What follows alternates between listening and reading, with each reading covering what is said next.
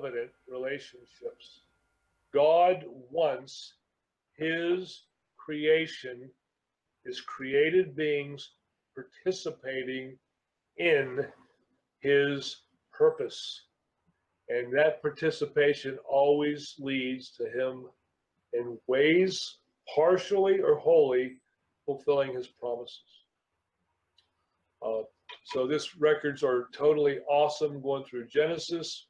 Uh, we're going to come back to the Hebrew writings later on in order to uh, illustrate it through the Mosaic covenant, which is essential in understanding uh, in order to get a larger grip on that. But we are children of promise. Uh, Abraham was a awesome man. He trust he did trust God. There's no doubt about it. He's called the father of faith. He's faithful Abraham. He's our example biblically of just how awesome trust in God can be, uh, and how pro- how provisional our God is in uh, keeping His promise. Uh, the promise in Genesis 20, as we see it ration out with Abimelech, Abraham has not brought forth the promised seed yet. Uh, he's back in another situation to where he pawns his wife off as his sister, and the same results. And you know what? God fulfilled it the same way. It's two different records and two different accounts. uh, in verse 21, it says, The thing was very grievous, was very grievous in Abraham's sight because of his son. And this word and the thing, the promise was very grievous. Now, this is God some 74 years or 24 years later uh, explaining to Abraham that what he did with the maid was not what God promised, that the, the promised child, the child that was going to be the first in a line of descendants to Abraham, was going to come out of him and Sarah. And it Abraham it hurt Abraham's feeling.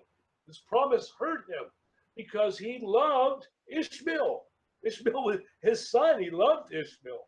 And God works with Abraham on it. It's really so cool because God still works with Abraham. He, he blesses Ishmael in a way that would bless Abraham. Uh, in verse 21, 26, we're back to Abimelech. I wot not that thou hast done this thing, neither didst thou tell me, neither did yet I hear of it, but this day he's defending himself because he found out that uh, Sarah was Abraham's wife. And Abraham took a sheep and an oxen and he gave them to Abimelech. The both of them made a covenant with each other because Abimelech was afraid of God and his retribution against him because of what he did to God's prophet Abraham. So Abraham is working, he's he's doing what he's learning. He's he's God is teaching him about promise and covenant, and he is in turn making a covenant with Abimelech. Now, uh, Abimelech actually uh, gets pretty hairy later on because uh, remember earlier we found out that the uh, the pro the the the the sin of the Amorites. Uh, well, guess who Abimelech was king of? the Amorites had not fully manifested itself. It had not fully come into fruition uh, at this time, and God was waiting for that before He made a move with Israel, which was not going to happen for 400 years. Uh, he was that's how far ahead he was in the chess game. Mm-hmm. I mean, just amazing. He does not have absolute foreknowledge. He knows everything knowable, and therefore he plays the game a lot better. I think John uses Ricky Fisher as an example uh, in the uh, one day with the creator class, and rightfully so. He plays the game very well. But Abraham makes a covenant with Abimelech to show that he's, hey, he's not going to, just like he's going to praise. And Abimelech gets healed the same way Pharaoh got healed. And it came to pass after these, after promises. verse 22 of Genesis. And, and again, I'm going through this to illustrate promises and covenant. There's a whole story here. This is God has made the promise to Abraham. The son has been born. The uh, took 25 years for that for God to show Abraham just how awesome he is in fulfilling his promise by giving him and Sarah his son Isaac. And you get to you get to Genesis 22 1. It came to pass after the promise that Elohim tempted Abraham. Now, I have a whole another teaching on this idea of Elohim uh, tempting Abraham after the Debar, after the promise, because the son has been born. The promise to that extent has been fulfilled. And all of a sudden, Abraham gets tempted, uh, but that is for another day and another dollar. And said unto him, Abraham, and he said, Behold, here I am. uh, his relationship was developing strongly from a spiritual perspective. Genesis 22 16, and said, By myself I have sworn, says Yahweh, for because thou hast done done according to this promise. Now, if we read in Hebrews, we find out that Abraham uh, Abraham reasoned within himself that God was even able to raise the dead. So he didn't have a real problem with this sacrificial idea of Isaac because he believed God was going to get him up from the dead. He even told his servants, Hey, me and the boy are going to go up and worship and we'll be back. And he had planned on killing the boy because of the revelation he got in 22 1. He was so confident. So, no matter who gave him this temptation, which God it was, the fact that he acted on it because of his trust in God. So, whether it was, I don't believe it was actually Yahweh, because it was Yahweh that provided the lamb. Uh, Elohim is a very broad word in the Hebrew writings. The B'nai Elohim are sons of God. So, whatever Elohim this was that tempted Abraham and said, sacrifice the kid that, that Yahweh just promised was going to be where his descendants came out of and where the ultimate promise would be. Abraham did it because he trusted God was even able to raise the dead. He understood resurrection, he understood promise, and he understood hope. That's why God was able to take him. We get tricked. Believers don't have to be afraid of getting tricked. They have to be they have to be afraid of not trusting God because you want to fear something. You want to have the fear of the Lord fear not being with him because everything away from him sucks. Uh, verse 22, it says, Yahweh, because thou hast done according to the promise, thou hast not withhold those son. You think God had a personal looking forward to what he his relationship would be to Jesus Christ, and not only that, but using this as an example of his relationship with his son Jesus Christ. You think his heart didn't just melt at what Abraham was doing here, willing to sacrifice his own son.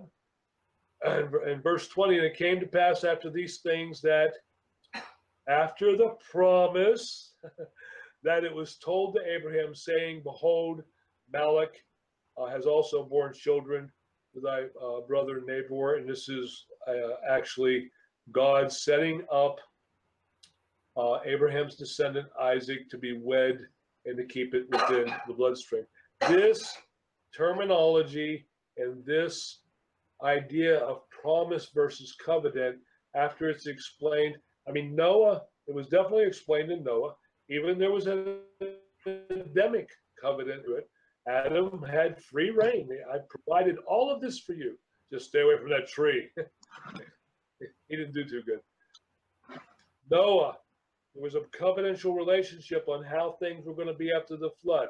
Abraham, there was a promise made and a covenantal relationship.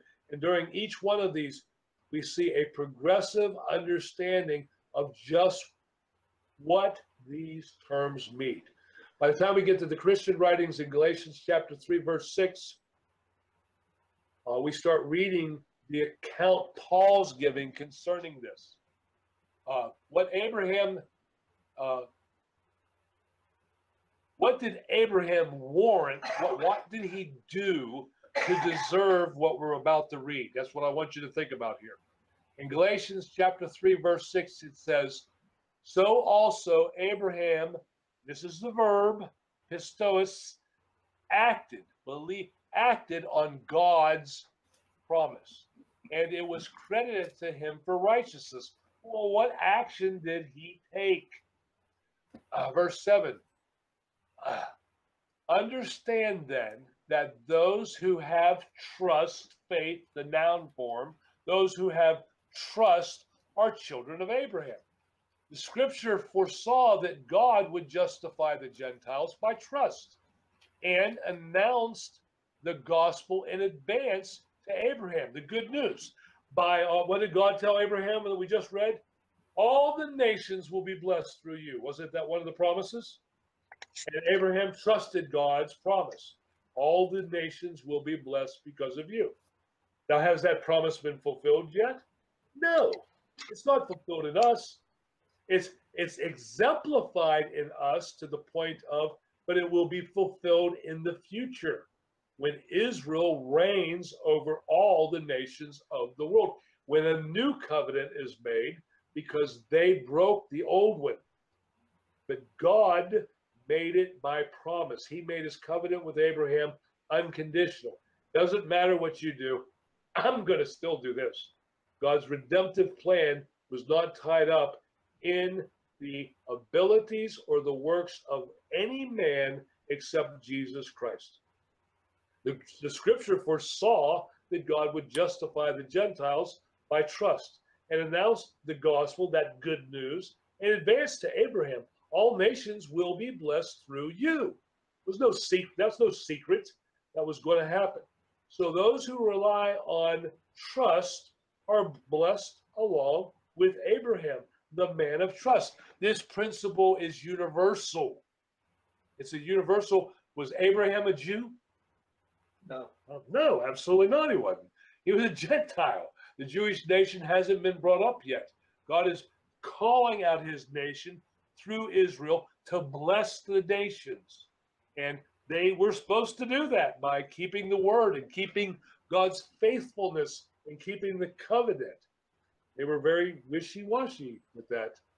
Uh, but it didn't stop God because he knew that in his son, that Jesus Christ would fulfill that covenantal relationship with a new and everlasting covenant. Uh, in verse 10, it says, For all who rely on the works of the law, now that's a covenant, are under a curse. As it is written, cursed is everyone who does not continue in everything written in the book of the law. That's their part in fulfilling their contract. Uh, works by the law is what you earn. Trusting God is holding him to the promises, just like Abraham, just like faithful Abraham. Clearly, no one who relies on the law is justified before God because the righteous will live by trust. God always intended it to be that way. And it was that way even throughout the uh, schoolmaster of the covenantal relationships before Christ. The person who does these things will live by them. Verse 13 Christ redeemed us from that covenantal relationship, from the curse of the law. Why is it cursed? Because it reminded you of your sins. Nobody could live up to that standard. What the, the law was bad, or the covenant was bad, or the, the the rules weren't bad. None of that stuff was bad. It was all good, but nobody could live up to it. Nobody. So Christ redeemed us from that curse of being reminded daily of our sins by becoming a curse for us. For it is written, Cursed is everyone who is hung on a pole. He redeemed us in order that the blessings. Now, here you're starting to get some distinction between the Hebrew prophecies of Israel and the nations and us. He redeemed us. Christ, this is this is the promised seed and his seed, us. He redeemed us in order that the blessings given to Abraham might come to the Gentiles through Christ Jesus, so that by trust we might receive the covenant of the Spirit, right? I was waiting for everybody to scream. It doesn't say the covenant of the Spirit, does it? It doesn't say that. It says, by trust, we now, not not the Gentile, not the nations that Abraham blessed, not Israel, we might receive the promise of the Spirit. The whole point uh, is that salvation does not come by any law. Uh, it doesn't come by your works. It comes by what God accomplished in His only Son, Jesus Christ. And when we come back next week, we're going to go into, or the week after, or the next session, I guess I should say, we're going to go into this uh, revelation that Paul writes about in uh, to the, the, in the letter uh, Galatians, in the letter to the Galatians, excuse me, and we're going to go and do some very strong comparisons between that and then pick up the letter and the promises and the covenant that was mosaic in its relationship. Uh, and we'll uh, finally start to bring it together in Ephesians. So that's what I got for tonight, guys. I know a lot of very dry part of the segments. I tried to make it live as much as I could, but I really feel that we got to get these scriptures out in front of our faces mm-hmm. before we actually go into the Christian writings and look at this from a a, a scope perspective, so to speak. So that's all I got for that, Mr. Don. Well, thank you very much. Let's all say good night. Good Although we're not going to place. Good night. Good night. And we'll see you in the green room, which is right where we are. So we'll see you there.